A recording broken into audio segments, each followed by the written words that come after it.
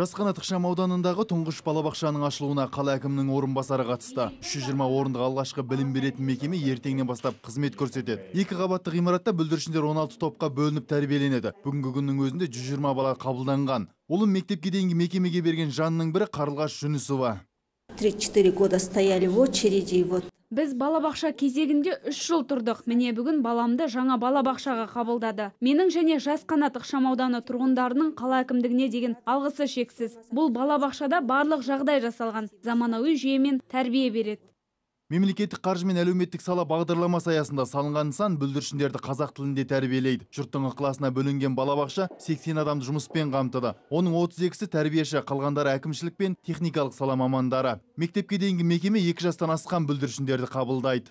Речь идет о социальных обязательствах. елбасы берген тапсырмаларының бірі әлеуметтік саланы дамыту яғни денсаулық сақтау мен білім беру салалары халықаралық талапқа сай болу керек. Міне бүгін жас қанат ықшам ауданы үшін қуанышты күн. Сіздер үшін жасалған жұмыстардың игілігін көріңіздер.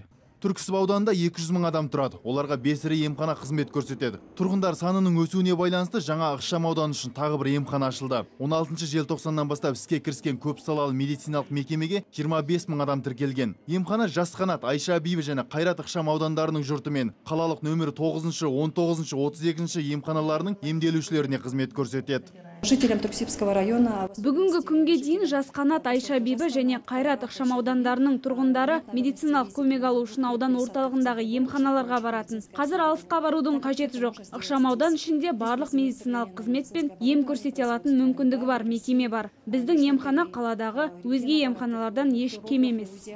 Емхананың басты артықшылығы халықаралық талапқа сай заманауи технологиялармен жабдықталған. Яғни италия германия оңтүстік корея ресей және қазақстандық құрылғылар бар. Мұнда тексеру және емдеу орталықтары да жұмыс істейді. Мекеме тұрғындардың алғысына бөленіп қана қоймай 200 дәрігерді жұмыспен қамтыды.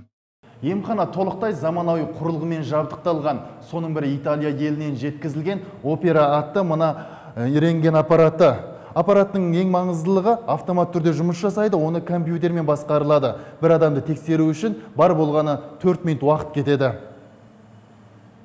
Аршын кемелжан дархан айтқазин рашидин якупов алматы телеарнасы.